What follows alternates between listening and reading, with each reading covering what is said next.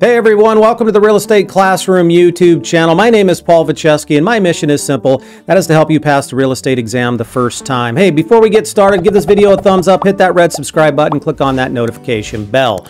Okay, we're going to continue our vocabulary word series. I hope to have this finished up in the coming weeks.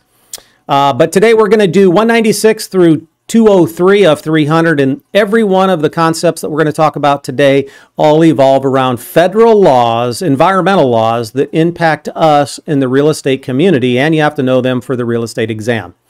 Now, first of all, our first key term we're going to talk about is the Environmental Protection Agency, commonly referred to as the EPA. Now, I know most of you already know what the EPA is and what they do, but the EPA is a federal federal organization and their job is to uh, write regulation, environmental regulation, and then enforce those regulations. So they are the enforcement branch for the federal government regarding environmental issues. The EPA, you got to know that for your real estate exam because almost everything, every one of these laws that we're talking about in this video, it is the EPA that's tasked with enforcing those laws.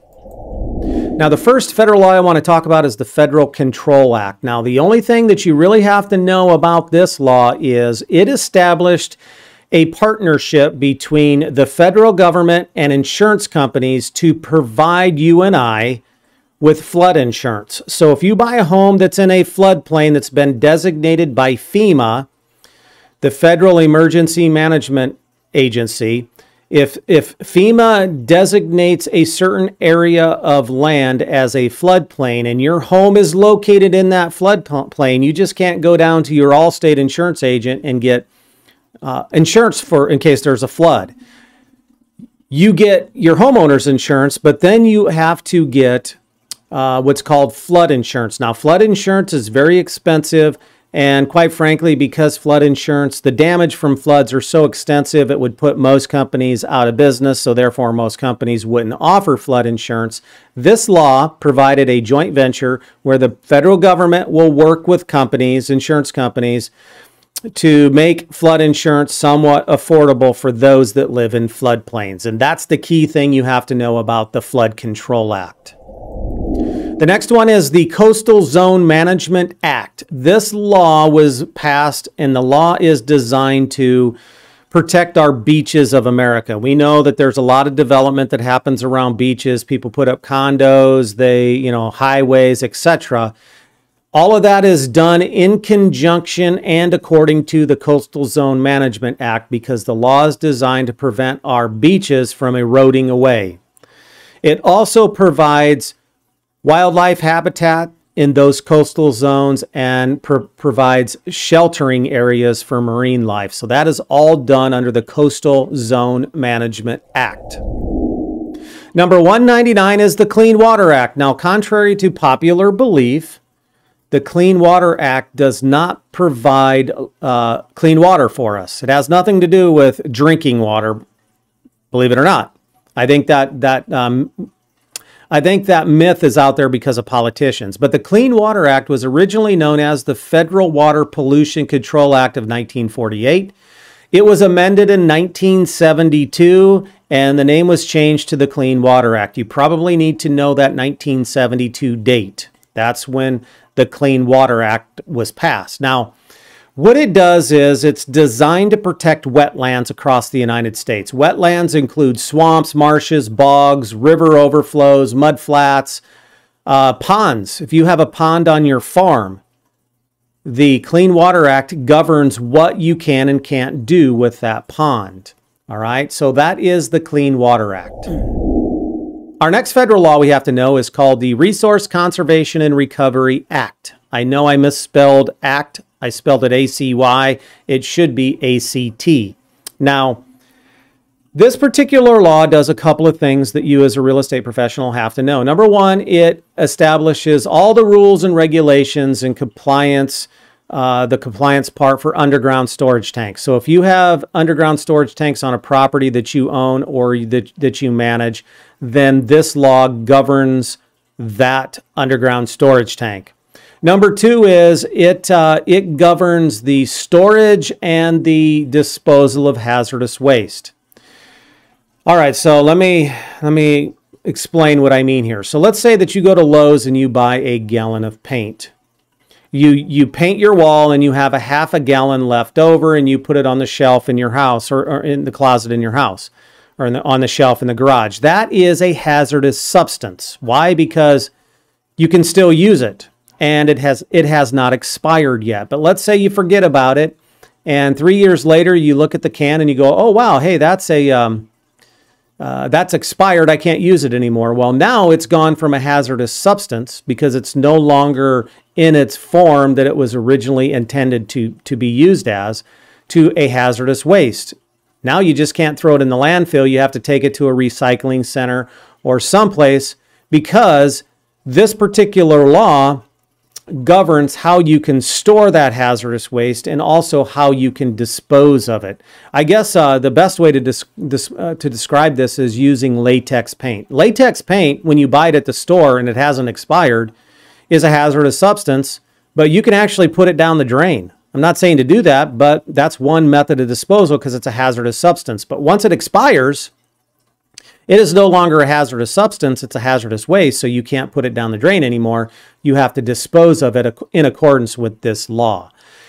Are you ever going to really need to know this for the general run of the mill, you know, residential real estate agent? Probably not. But um, let me tell you something: that if you um, if you manage industrial property, you're going to have to know this law inside and out. The next one is the Comprehensive Environmental Response, Compensation, and Liability Act. Now, this law does a couple of things. First of all, it established a slush fund. So money was available to clean up hazardous waste sites and toxic sites. All right. So that's the first thing.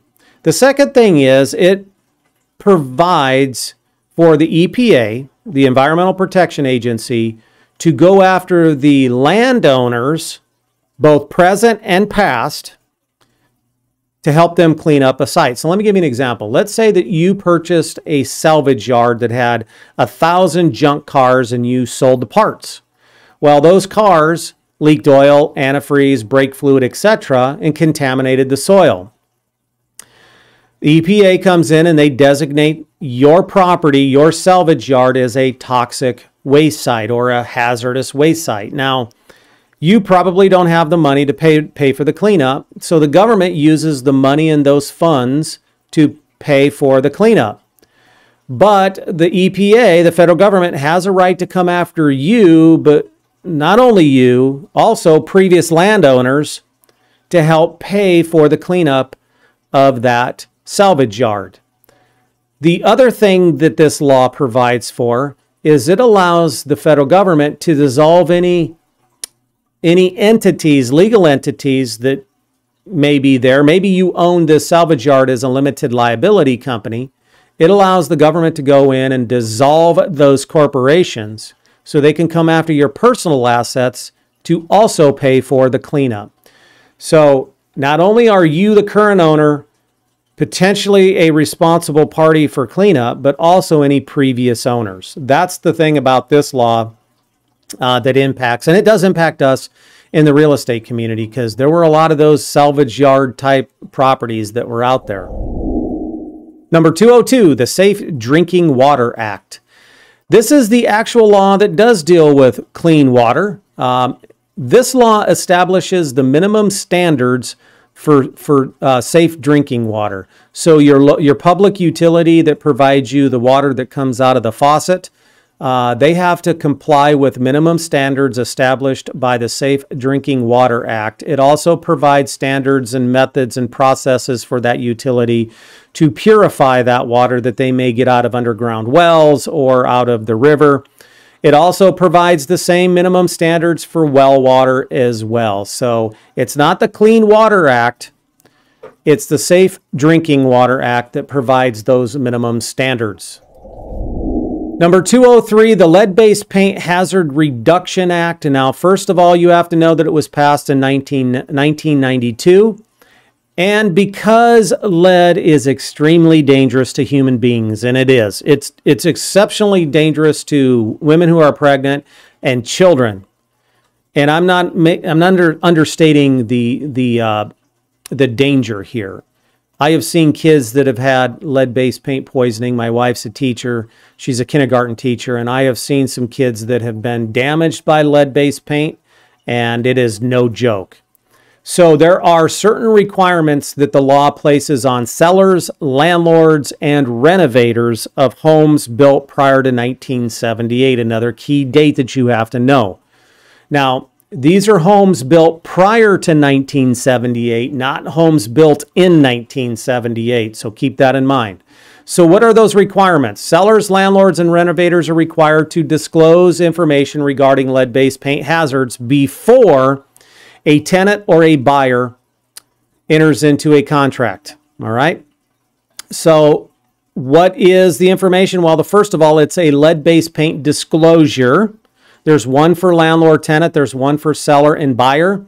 So a seller or a landlord would have to provide that respective disclosure to a tenant or to a buyer prior to the purchase contract or the lease agreement being signed. Uh, the the lead-based paint addendum, addendums under the Code of Federal Regulation actually make them addendum number one to the purchase agreement and addendum number one to the to the uh, lease agreement and they must be given to the tenant or the, the purchaser prior to those contracts being signed. Otherwise, it creates a voidable contract. Number two, the, the renovator, the seller, or the landlord must provide any associated documents regarding lead based paint. And that includes things like test results. Whether they were negative or positive, they have to be provided to that potential buyer or tenant. Now, buyers and not tenants here, buyers have a 10 day opportunity to have a lead assessment done at the buyer's uh, cost. The buyers have to pay for it. A seller cannot say no. Now, a seller may take a different offer. So if there are two offers on the property, one buyer is asking for the assessment, the other one is not, then the seller can legally take the one that is not asking for the assessment. But if there's only one offer and that, that buyer is asking for a, an assessment to be done, the seller cannot say no. Now, they can negotiate that 10 day opportunity, but now what are real estate agents required to do? Well, real estate agents must provide their buyers and or tenants. Now, remember, a tenant's legal name is a lessee.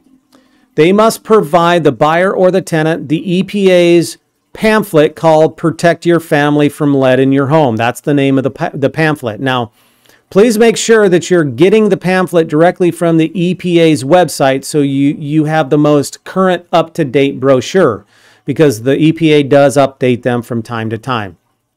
Now, last but not least is renovators. This includes landlords. If you're a landlord providing rental property, uh, then you are considered a renovator if you perform work on your own property. You must comply with the EPA's repair, I'm sorry, renovation, repair, and paint regulations. We commonly refer to that as the is the RRP. RRP. I'm not going to go into detail here. That's for a different video. But landlords, property managers, you are considered a renovator if you do work on your own property. Therefore, you must follow the RRP regulations.